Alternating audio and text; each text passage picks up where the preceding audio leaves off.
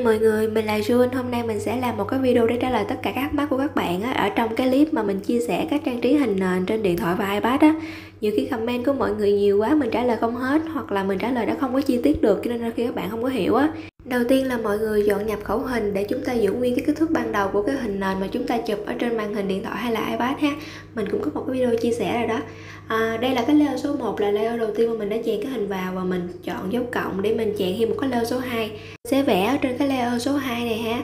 Đó, các bạn thấy không? Đây là cái layer mà mình đã vẽ nè. Thì bây giờ mình sẽ chọn sao chép đúng lại cái hình mình vừa vẽ để mình copy cho cái hình về sau thôi. Để mình tiết kiệm cái thời gian mình không còn phải vẽ nhiều á mọi người.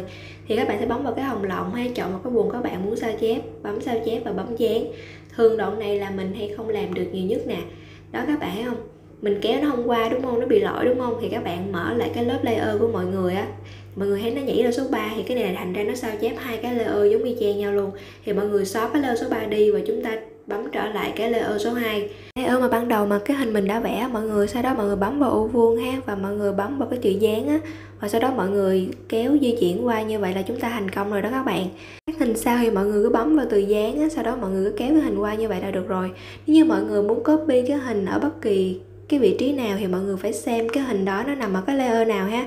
Sau đó mọi người cũng chọn cái vùng chọn ngay cái hình mình muốn và mọi người bấm vào cái ô vuông, xong rồi bấm sao chép và bấm dán là được. Nhiều khi mình không có sao chép được là nhiều khi mình không có đúng cái layer mà mình muốn thực hiện á mọi người.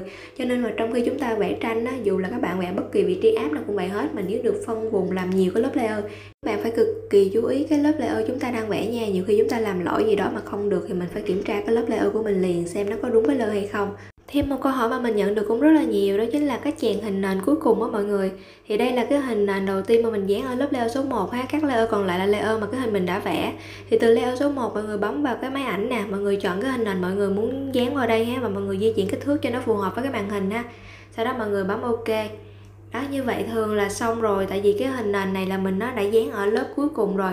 Nó trên cái hình nền đầu tiên và nó dưới cái lớp mình vẽ là được nha mọi người. Cái hình nền số 1 các bạn có thể bấm vào con mắt để các bạn tắt nó đi, hoặc các bạn không tắt nó đi vẫn được, tại vì nó nằm ở dưới cái lớp hình nền mình muốn dán. Nhiều khi các bạn dán bị lỗi là vì sao? Vì cái hình nền chúng ta muốn dán á bạn, nó nằm ở vị trí không phải là vị trí cuối cùng mà nó nằm ở vị trí giữa giữa, hoặc là nó nằm ở cái vị trí đầu tiên. Thành ra nó chèn hết tất cả các hình mình đang vẽ luôn là nó bị che khuất đi á mọi người. Cho nên là cái hình nền này á các bạn, nó phải nằm, nếu như nó nằm cuối cùng á, thì cái hình kia các bạn phải tắt đi, hoặc nó phải nằm trên cái hình nền đầu tiên mình dán nha mọi người mọi người phải lưu ý cái vấn đề này nha.